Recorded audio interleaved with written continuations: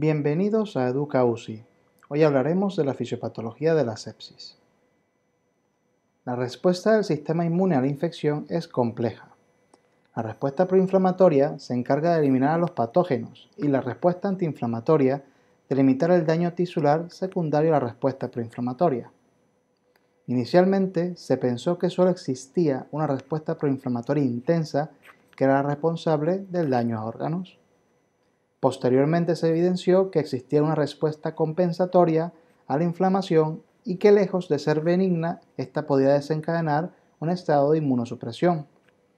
En la actualidad sabemos que tanto la respuesta proinflamatoria como la antiinflamatoria se inician al mismo tiempo y que el daño tisular y orgánico ocurre por el desbalance de estas.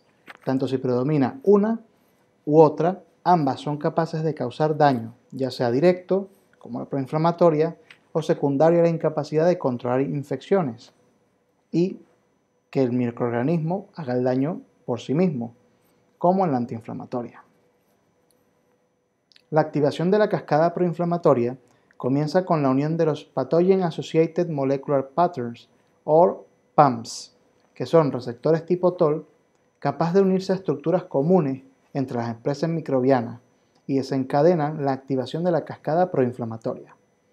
A su vez, esto desencadena la activación de leucocitos, excreción de radicales libres, activación de complemento activación de la cascada de coagulación para delimitar y controlar la infección. Todo esto puede causar daño celular, que a su vez libera detritos celulares, y estos pueden ser reconocidos por sectores tipo TOL u otros, que son los llamados Damage Associated Molecular Patterns o DAMS, aumentando y manteniendo la cascada proinflamatoria. A través del eje neuroendocrino inmune, las citoquinas proinflamatorias estimulan al nervio vago y a los ganglios dorsales, desencadenando una liberación de noradrenalina a nivel de bazo, endotelio, hígado, intestino, donde las células T terminan expresando acetilcolina, lo que produce un bloqueo de la activación proinflamatoria en las mismas, así como una apoptosis celular en órganos como el hígado y el vaso. Además, tanto las glándulas suprarrenales como la pituitaria se ven estimuladas por esta citoquina, aumentando la producción de cortisol y otras hormonas contrarreguladoras. La disfunción de órganos ocurre por diversos mecanismos, entre los cuales destacan la acción directa de las citoquinas, daño tisular por radicales libres, alteración del metabolismo celular y de producción de energía a nivel mitocondrial, hipoperfusión tisular, entre otros.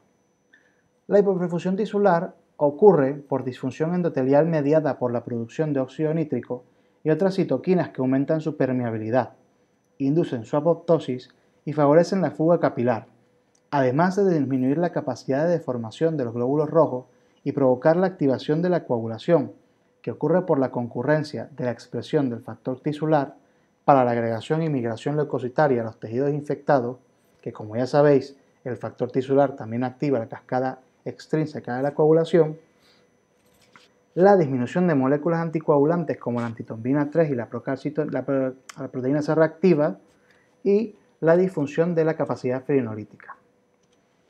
A nivel mitocondrial, también la respuesta proinflamatoria y la formación de radicales libres en el citosol entorpecen la capacidad para la producción de ATP y pueden desencadenar apoptosis celular o una disminución importante de la función celular, que evita su pleno rendimiento y por ende del órgano y tejido que formen. Para concluir, realmente falta mucho por investigar y todavía no están claros todos los mecanismos.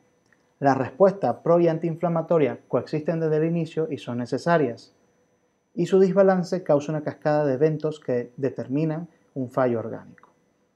En el siguiente vídeo hablaremos de las últimas guías de la Surviving Sexing Campaign. Esperemos que les haya gustado. Vuestros comentarios son bienvenidos.